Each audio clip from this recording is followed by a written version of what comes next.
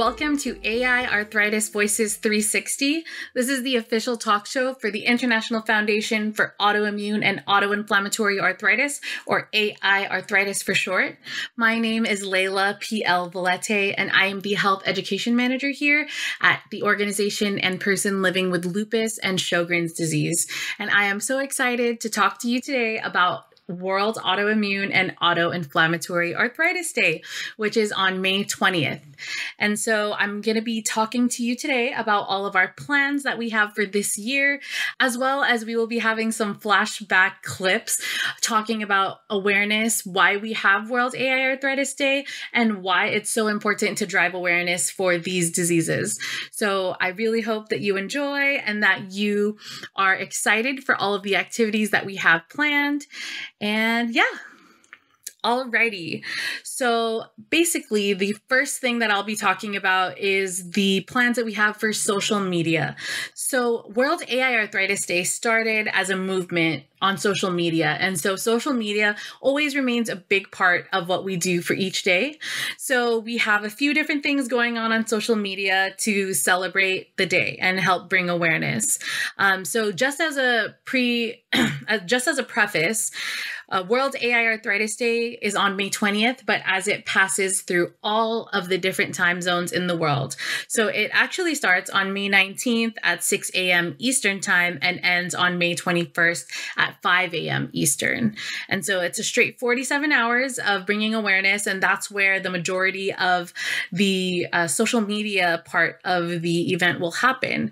And so we have uh, one, our auto plus inflammatory arthritis equals X campaign, which is pretty much a way to help expedite early diagnosis, early detection, and early treatment for our AI arthritis diseases. And so basically, we want to show that auto symptoms plus inflammatory arthritis symptoms equals all of our different diseases. So we have a poster campaign um, we also have graphics that you can post on Instagram or other social medias. And we also have three different video trends that we're going to be getting people to do examples of and basically helping to tell their story. Um, so the poster campaign, um, I actually have posters here. If you're on the YouTube version, you can see one of my posters and you take a picture with holding up the posters that have to do with your specific symptoms of your AI arthritis disease. Um, you can also do that on the graphics posts for Instagram. If you don't want to hold the poster and just want to post it, um, post the information on your Instagram or other social medias, then you can do that. And we also have three different video trends that we are um, relating to AI arthritis diseases. So the first one is the put a finger down challenge. Um, so where you would say, put a finger down if you have experienced such and such. And so basically trying to pull experiences that unite all the different AI arthritis diseases um, or the people having those diseases and having common experiences.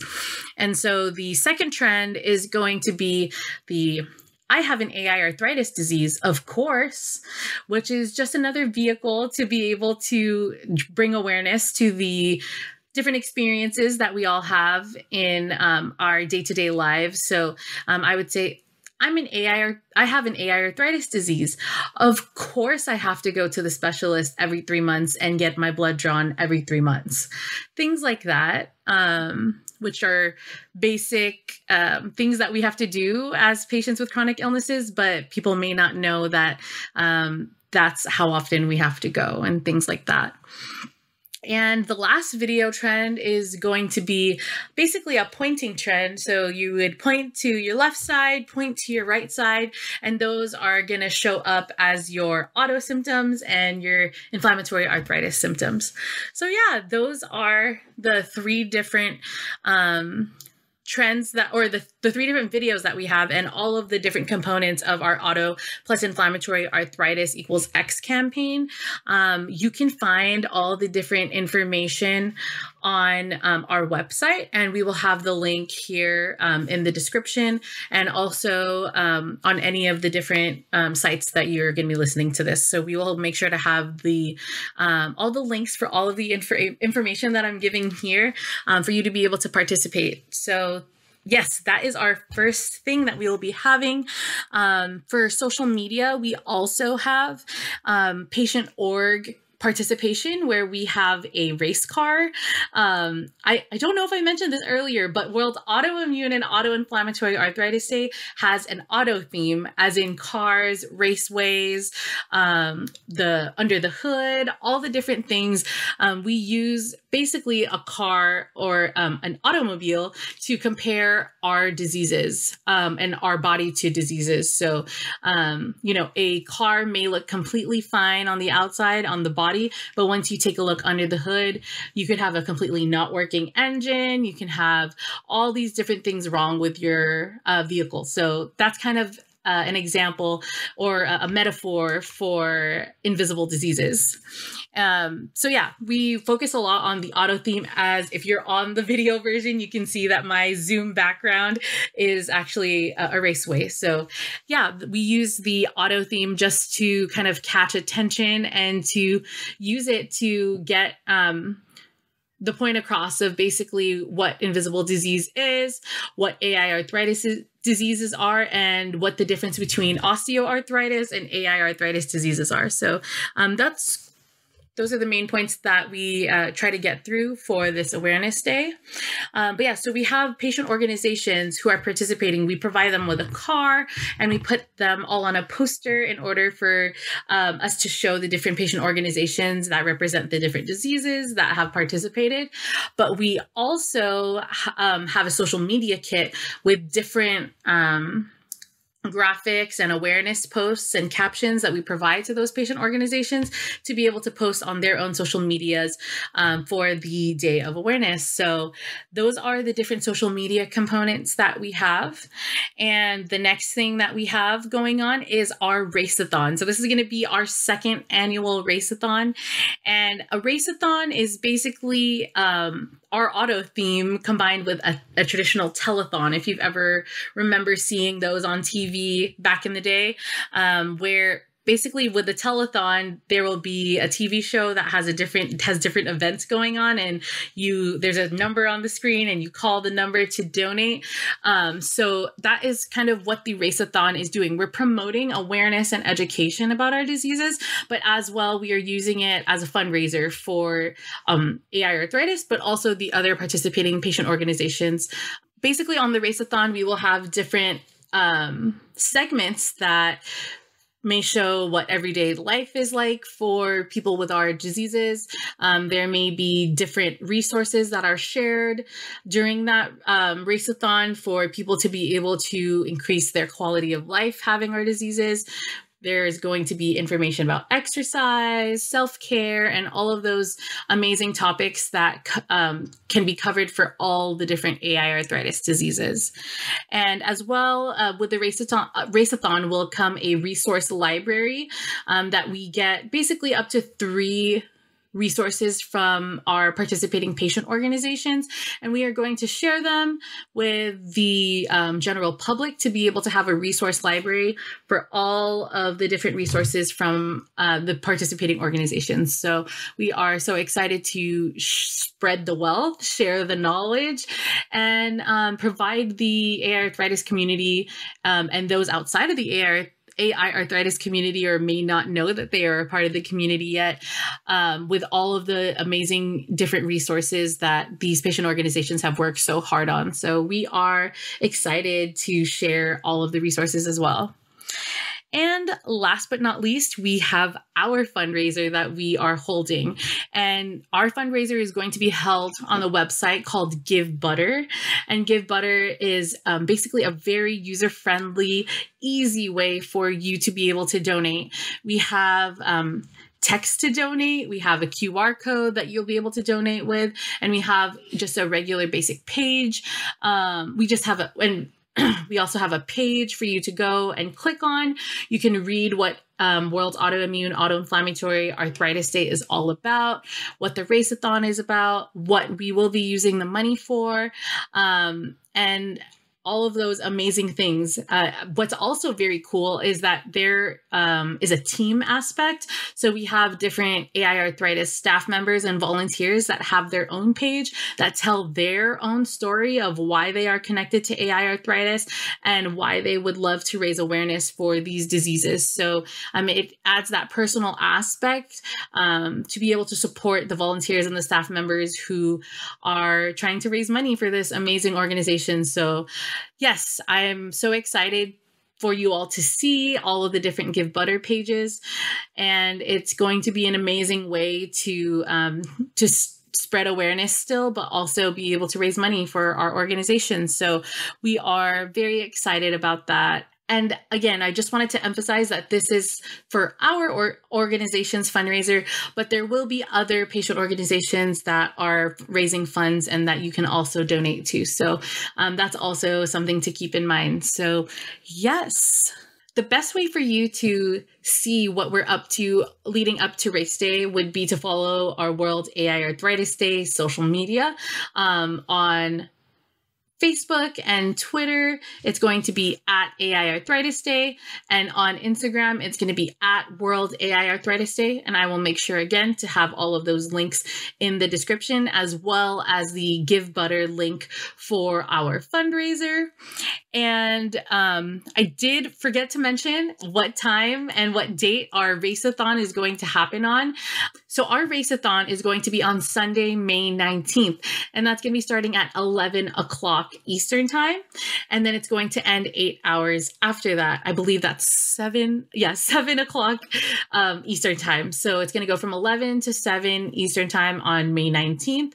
We will have that live stream video ready for playback by um, the next day so that we can also replay it on May 20th, the actual day in the United States for um, World AI Arthritis Day.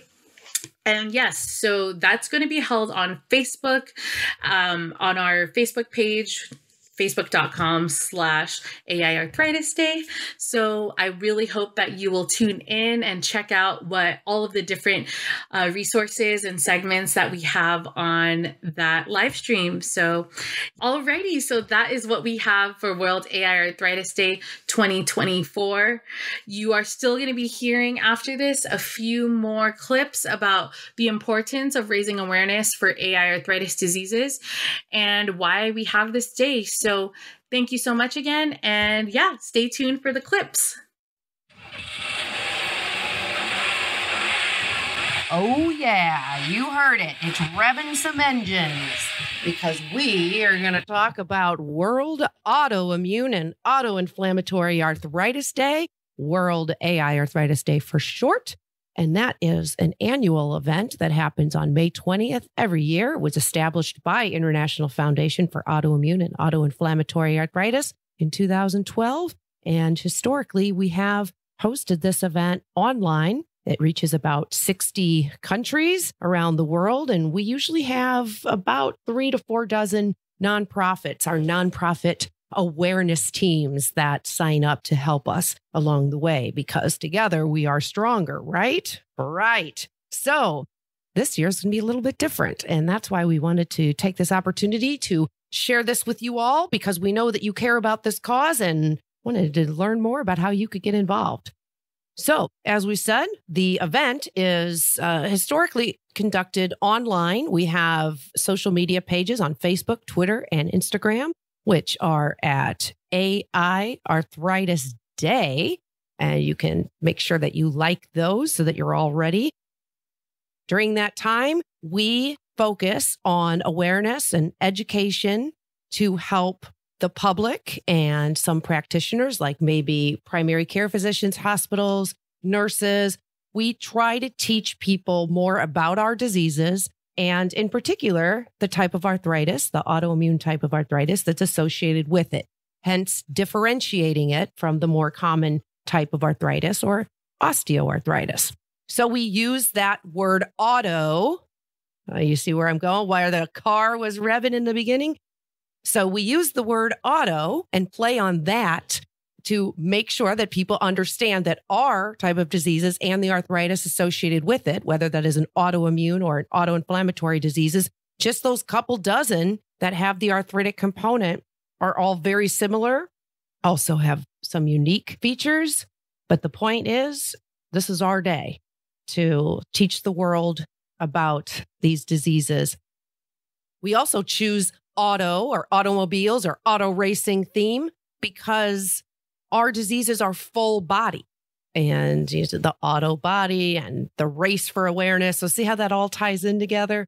And we focus on making sure that it is clear that our diseases affect all types of people in all parts of our body, including joints, tissues, and organs. And really, the awareness is necessary to improve the lives of the 450 million people worldwide that are affected with these diseases.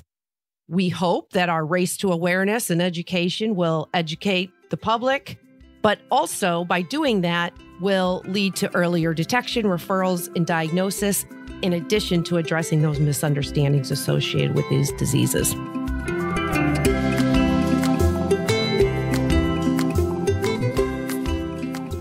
So, the topic, well, we're going to go back because it is May, and we're going to talk about the word arthritis.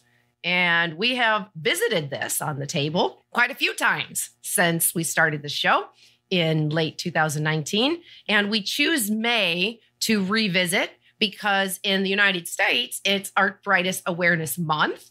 And in some other countries too. I'm not sure, Eileen, I don't believe it is in Canada. I think it's a different month. It is September for Canada, September. but I do celebrate as well because you're our neighbors. That's right. and then also, it is World Autoimmune Autoinflammatory Arthritis Day or World AI Arthritis Day, May 20th, which our organization established way back in 2012 as one of the first programs we ever did. And that day is used to celebrate the differentiation of our arthritis from other arthritises and really bring awareness and education to our community. So, in honor of that, we are putting it back on the table. And when I say back on the table, that means it is called a step five. So, for those of you who have tuned in our show for a while, you will know that we, in addition to these 360its, we have two versions really of this main show. It's a step two, which means we've identified by listening to patients there's a big issue in step one of our process. We put it on the table in step two. So we've done that. We'll link you to all of those episodes so that you can check some of those out. We're going to revisit those topics and move forward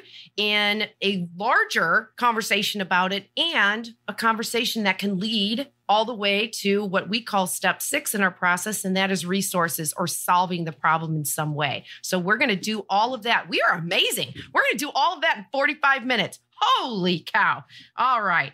So I'm going to turn this over to some of our co hosts here to start the conversation. And the first thing I thought we'd do by just throwing this on the table and revisiting it is just talking about why you think that awareness about our kind of arthritis, autoimmune arthritis, autoinflammatory arthritis, the type of arthritis associated with these auto diseases. Why is education and awareness so important?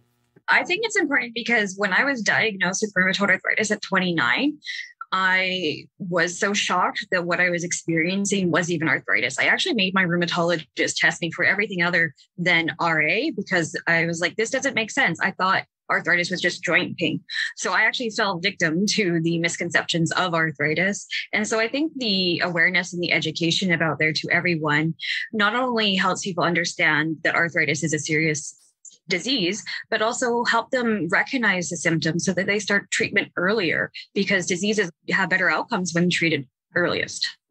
And like Eileen said, I was diagnosed three years later than planned. So I was having weird symptoms, chronic fatigue, joint pain. And I was in high school at the time. So doctors were like, oh, you're just an active teen, you have growing pains, stuff like that. But, you know, even with uh, my dad having psoriasis, there wasn't anyone in my family or friend group who had any form of arthritis. So even with the knowledge of having a family member with an autoimmune disease, it wasn't really looked upon that I would have arthritis at 18. So, you know, when I went to see my pediatrician, she was like, oh, you're fine. But I kept kind of egging her on. Like, I basically went on Google and did what you're not supposed to do and pretty much self-diagnosed myself. And then I went back two years later and I was like, you know, my hands look a little different. And it was more something that I could notice. And she was like, yeah, you should go see someone. And ironically, her sister happened to be a rheumatologist, but throughout those two years I was complaining to her, she didn't find it necessary for me to go even seek an opinion. So we just kind of, you know, left the doctor's office like everything's fine, you know. So, but it really wasn't. And that's kind of why I feel that it's important to discuss these things because there's a lot of people out there, even with social media and a bunch of like awareness, there are people out there who do not have the answers still, even with modern technology and everything that we have going on. So that's why it's important to sort of talk about these things. And I would just jump off of that with after all of this time and all of this, still not having the answers. I mean, that really is just the biggest and most important part of all of this because the the answers to figuring out what it is that's going on with us when we are feeling pain not only in our joints but in all these other places that really don't make a whole lot of sense but also so many other symptoms that affect so many other parts of our bodies.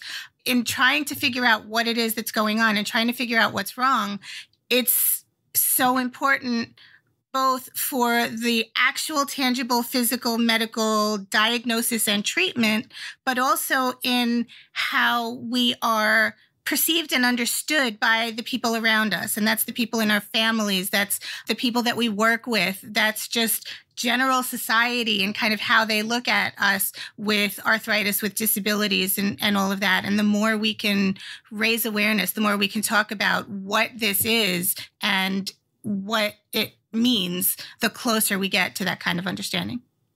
I was going to add to that, kind of more like the general public awareness part of it, the way we talk about it too. Because a lot of the times we kind of, even ourselves, just describe it as arthritis. But when you say rheumatoid arthritis or psoriatic arthritis, or you give it a different name or more of a name, then people are like, oh, that's not just arthritis. That is something else. And then on the day when we start talking about them, you know, more people are like, oh, I've, I've heard of that. I don't really know what that is. So it's the day to learn what this is and understand more about it. And then hopefully people having those weird symptoms, having those unexplained, no diagnosis, know what to ask for, know what to look into, know, you know, what these things actually are. And then hopefully the entire disease group gets more respect and more acknowledgement for what they actually mean to live with them. Wow. You all just had really, really great examples. I have nothing else to add. Show over. But seriously, what you all really explained very poetically almost was a journey. In you went from detection and diagnosis issues to what's going on with me to misunderstandings, which we're going to circle back on as well to public education. We sort of touched on doctor education because that all rolls into it. And we will then lead into also talking today on this overlap, which we said in our introductions, is then you have this issue of, well, is the arthritis being ignored? Is it being ignored because the doctor doesn't think I have it? Am I too young? Is it being ignored because it's not typically associated with my disease? There's just a lot that goes around the arthritic component that if we understood it, we, meaning family members, meaning doctors, meaning the public, we could really start to see better detection, better diagnosis, earlier treatment, better quality of life. It all equals into this equation just on this word. And then it even equals into better overall health care, regardless of where you live, with regardless of what country, and better outcomes for the healthcare system. Because if we're being treated early and we have better outcomes, then we have less chance of having comorbidities from uncontrolled inflammation. So, those are all really, really good points and lead us up right into the heart of this conversation.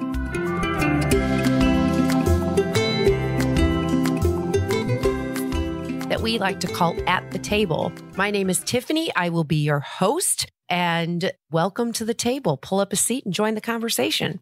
So, what is a mini episode, you may ask? Well, these are short versions of our podcast that we air every Wednesday at 7 p.m. Eastern Time. and they address issues that we've identified either require immediate action or there's something that we are already working on. And we want your input to help develop resources to then put back in our community so together we can change the stories of tomorrow. So, the topic we're going to talk about today is the need to differentiate arthritis types. And why is this important? We believe doing so will improve the misunderstandings that are associated with this disease and in turn will help expedite detection of the autoimmune and autoinflammatory diseases where arthritis is a major component. We also think that by addressing this and creating educational materials that it can help the conflicts and relationships that currently exist because of these misunderstandings of what a person really is dealing with and then eventually, both of these things will improve a person's quality of life. It can improve their health outcomes. And then, if that happens, well, we could actually start to improve the overall cost of healthcare around the world. And wouldn't that be fantastic? So, let's get down to the conversation here. Why do we want to do this? And what are we trying to achieve? At the root of the problem is that over many, many decades, the word arthritis has only been associated as an umbrella term meaning joint inflammation or joint pain. And that's what it is. But the problem is that there are different types of arthritis. And if the general public only assumes that arthritis is something that is a part of aging or happens in a mild form. Oh, it's just something that I can take an over the counter product and I'll feel better. That is doing a disservice for the people who really are suffering with the various types of arthritis, whether that be the more popular osteoarthritis or R types, which is the arthritis associated with having an autoimmune or an autoinflammatory disease. We like to call AI arthritis. So the fact of the matter is, we all have points of reference. We know what we know. So if we think of the word arthritis, what comes to mind? I mean, you might say, hey, I, I have arthritis. I have it in my knee, or I got it from an injury.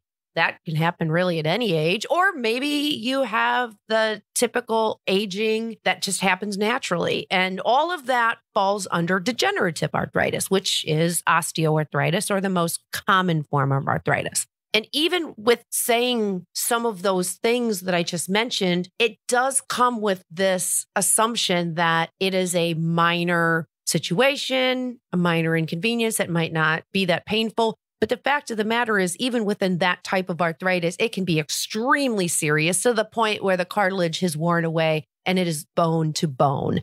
And that, of course, is extremely painful. So, even in osteoarthritis, I want to make it really clear by differentiating, we are not in any way, shape, or form suggesting that one form is worse than the other.